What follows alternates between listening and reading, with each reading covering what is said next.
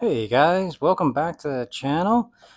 This is Wilmer Woodworks and today we are going to be doing a quick and hopefully easy replacement of a Ryobi table saw, the B3000 or B3100. Unfortunately, after I was done ripping all of these uh, maple, walnut, and cherry uh, blanks from my cut upcoming cutting boards, the drive belt pretty much disintegrated on me. And it was a little nerve wracking when it happened but after a quick search on eBay, I was actually able to find the replacement belt for only about 20 bucks. So let's get this thing repaired. So these are the drive belts that I found off of eBay. They're a lot smaller than I thought they were going to be. But uh, yeah, hopefully they work out. I'll be able to get this guy squared away. So I think the easiest thing to start is just to flip it over. And of course, this is unplugged. So let's see. And also, I've never done this before. This is a newer saw to me. So you and I are learning together.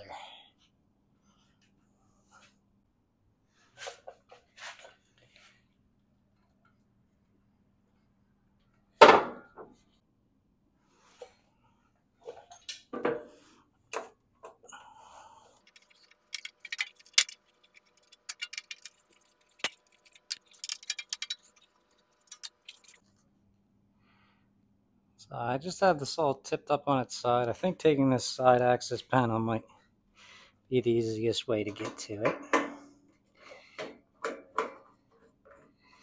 Now, anytime I like I do any of this work, I love these magnetic trays. It really helps by making sure all my little fasteners and parts don't go everywhere. And since they're magnetic, I can actually just attach them to the side of the whatever I'm working on they won't move.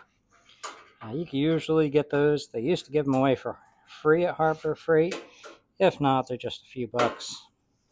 It's one of those things that if you're looking for a Father's Day gift for somebody or a uh, Christmas gift or stocking stuffer, get him one of those magnetic trays, even if he has them, because you can never have too many. I think I may have five or. Ooh, well, that's gone.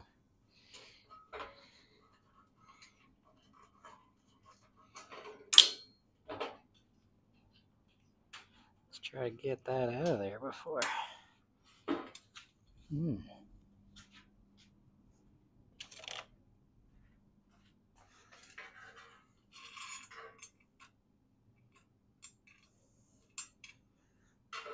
Tweezers.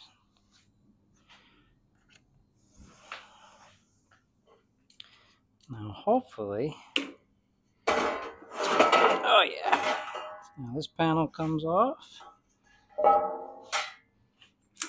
I'll put this over there since those are those screws.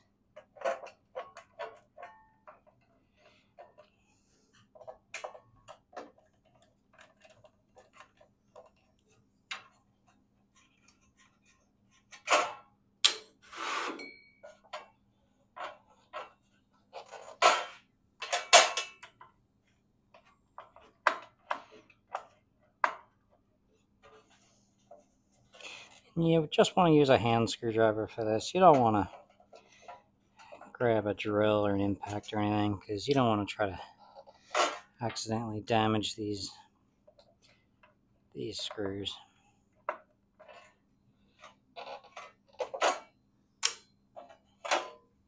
Okay.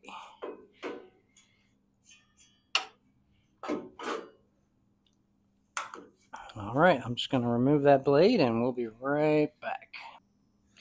Okay, now we got the blade off, which was a 19 millimeter, in case anybody needs to know. And let's see.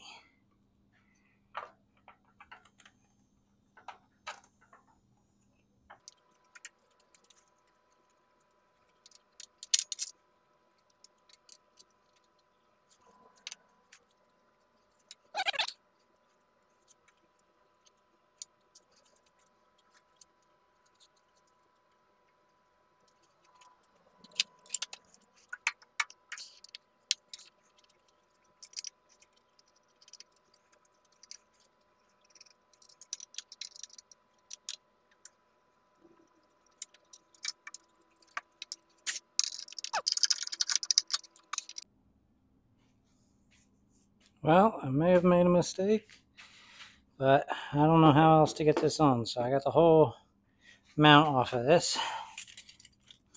And there were some shims. These were underneath and these were in between. So I'm going to vacuum all this out, get the new belt on, put it together, and see what happens.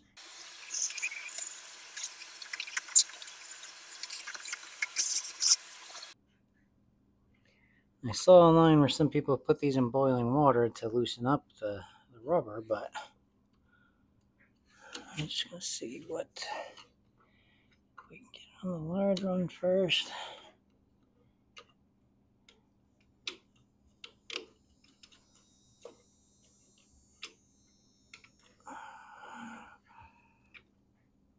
Okay, so maybe I'm going to set that up on a time lapse because I could see this is going to take a minute. I fought for hours to try to get these belts on. I did everything I could think of. I even took the motor out of the motor armature out of the casing, thinking maybe I could slide the belts through that way. They just weren't going. I tried boiling the belts, seeing if that would give them a little bit more give. Nothing I did would help.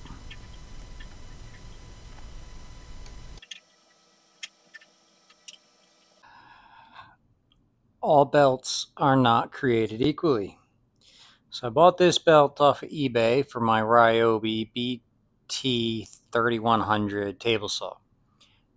13 bucks for two. It didn't fit. I emailed the seller and said, look, it didn't fit. Must be something in the manufacturing maybe it's just a little off, right? So they said, well, no, we've sold 3,000 of these. It fits on every, uh, you know, every time. No issues. You got to be putting it on wrong. Try putting it on this way. So I did their recommendation and the belt started to slip.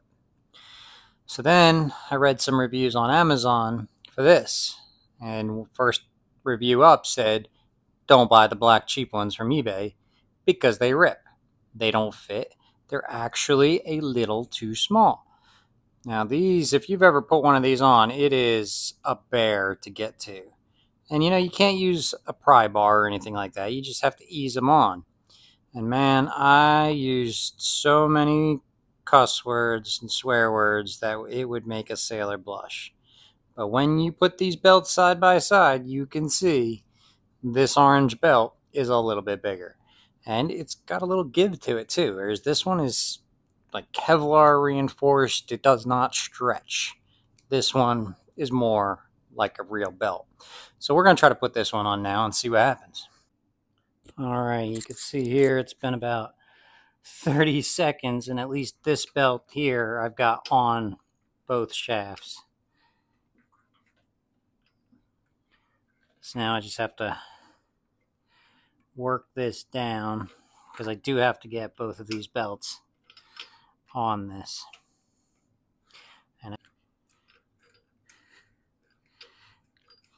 Mm-hmm. well, let's see. So just pushing in on the belt and rotating it seems to be getting it to to move a few spaces. So yeah, I think this is just going to take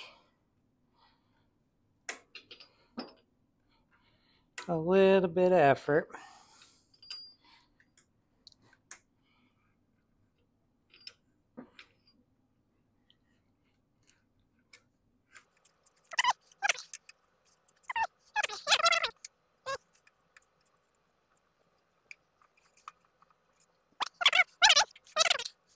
Just you start again. So get it on the bottom. Okay, one or two.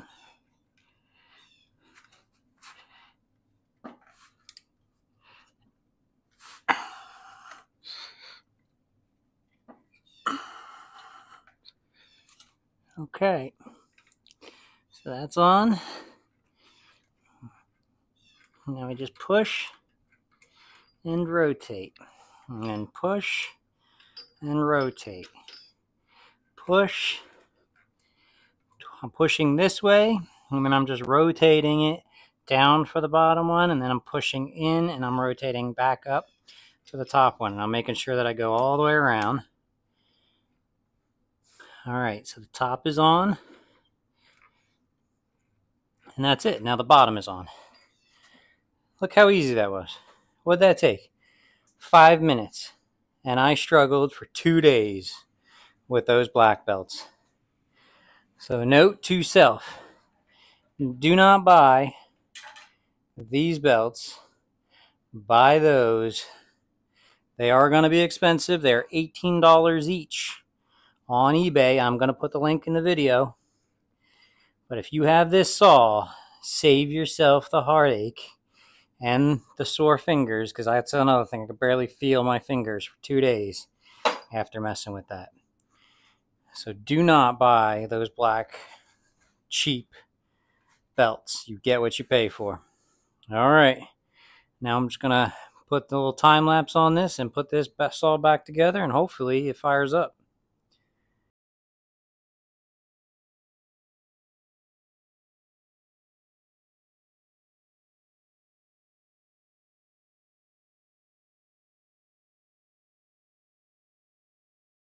Okay, now for the moment of truth. Let's fire it up and see what it does.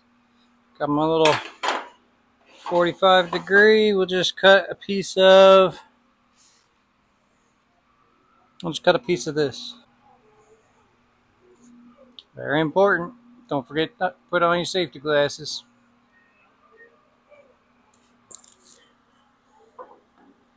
Alright, here goes nothing. Let's first see if it just fires up.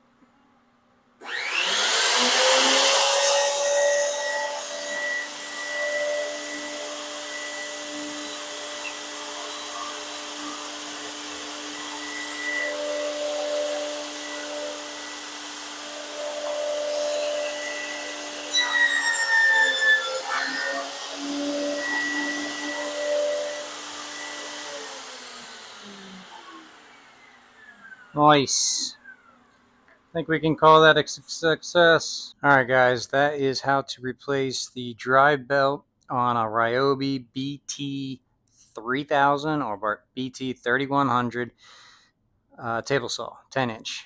Do not buy these rubber belts off of eBay. They're $13 on eBay for two, but you will have to return them and buy the $18 each ones from Amazon. I will leave a link in the description below.